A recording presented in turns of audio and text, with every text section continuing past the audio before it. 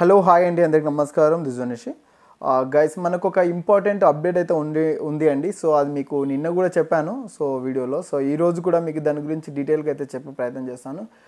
Guys ఏంటంటే మనకు ఎవరైతే సెలెక్టెడ్ పీపుల్స్ ఉన్నారో సెలెక్టెడ్ క్యాండిడేట్స్ ఎవరైతే కానిస్టేబుల్గా సెలెక్ట్ అయిపోయినారో వాళ్ళకి సంబంధించి ఫర్దర్ ప్రాసెస్ అనేది కూడా అంతా కూడా ఆగిపోయిందని జరిగింది. సో దానికి సంబంధించిన రేపు రాంగ్ క్వశ్చన్స్ ఏదైతే ఉందో దానికి సంబంధించిన రేపు కోర్టు డీటెయిల్స్ కూడా మీకు ఆల్రెడీ నేను సెండ్ చేస్తున్నాను.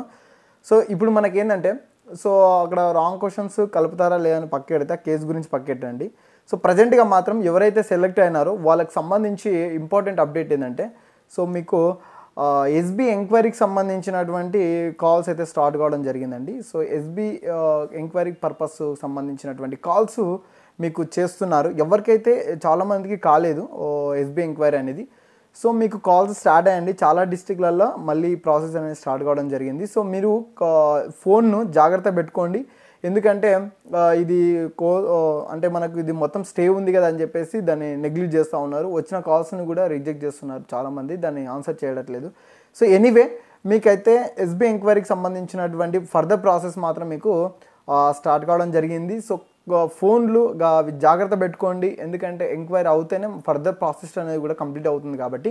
సో మీరు సో మీకు జాగ్రత్తగా అయితే చెప్తున్నాను. ఎందుకంటే దీంట్లో అన్నీ కూడా సబ్మిషన్ అంతా క్లియర్ అయిపోయిన తర్వాతనే మీ యొక్క వెరిఫికేషన్ లైక్ ఇది ఎస్బీ ఎంక్వైరీ మీన్స్ ఒక టైప్ ఆఫ్ వెరిఫికేషన్ ఉన్నట్లు అన్ని రకాలుగా అన్ని రకాలుగా చూస్తారు. అవి కోర్టు కేసెస్ పరంగా కానీ లేకపోతే స్టేషన్ పోలీస్ కేసు పరంగా కానీ లేకపోతే మీ ఎడ్యుకేషన్ క్వాలిఫికేషన్ సంబంధించినటువంటి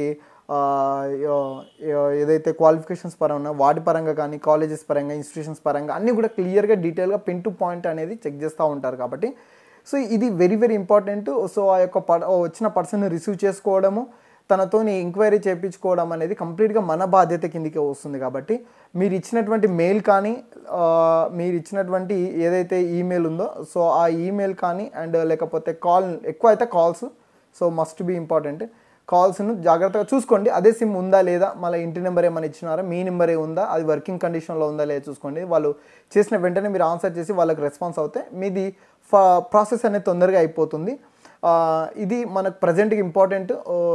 ఇది అప్డేట్ చేయాలి. యాక్చువల్గా మనకు ఇది గత టూ త్రీ డేస్ నుంచి కూడా స్టార్ట్ కావడం జరిగింది. బట్ ఏంటంటే నేను మీకు వీడియో ప్రయత్నంలోకి తీసుకురాలేదు ఎప్పుడు కూడా. సో ఎనీవే మీకు అయితే స్టార్ట్ అయ్యింది సో ఫర్దర్ అప్డేట్స్ కోసం ఏదైతే ఉందో ట్రైనింగ్ పర్పస్ మీకు ఏదైనా డౌట్ ఉంటే అంటే ట్రైనింగ్లో ఏ ఎట్లా ఉండాలి ఏమేమి చేయాలి ఏం చేస్తారు అంటే మీకు తెలియదు కదా కొత్త కదా. సో మిగతా విషయాలు ట్రైనింగ్ పర్పస్లో మీకేమైనా కొత్త విషయాలు తెలుసుకోవాలనుకుంటే మాత్రం కామెంట్ కామెంట్ అయితే చేయండి. వాటన్నిటిని నేను తీసుకొని నేను అవన్నీ ఒక దగ్గర నోట్ చేసుకొని మీకు ఇట్లా నీట్గా ఎక్స్ప్లెయిన్ చేసే ప్రయత్నం చేస్తాను. అంటే మీకు ట్రైనింగ్ లీవ్స్ కానీ ట్రైనింగ్లో మనీ కానీ శాలరీ కానీ లేకపోతే ట్రైనింగ్లో ఫుడ్ కానీ లేకపోతే ట్రైనింగ్లో ఇచ్చే ఐటమ్స్ కానీ ట్రైనింగ్లో ఉండేటువంటి యాక్టివిటీస్ గురించి కానీ క్లాసెస్ గురించి కానీ సో వీటన్నిటి గురించి కూడా నేను అప్డేట్ చేస్తూ ఉంటాను.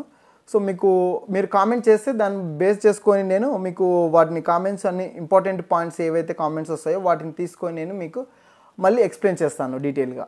సో అది అదనమాట. ఫర్దర్గా అయితే షార్ట్లీ అయితే ఇదంతా కంప్లీట్ అయిపోతే నెక్స్ట్ నోటిఫికేషన్కు చాలామంది వెయిట్ చేస్తూ ఉన్నారు. ఇది కంప్లీట్ కావాలని అయితే డెఫినెట్లీ అయితే కోరుకుంటున్నాను. గైస్ ఇది గైస్ ఖచ్చితంగా వీడియో లైక్ చేసి షేర్ చేయండి. థ్యాంక్ యూ జై హింద్.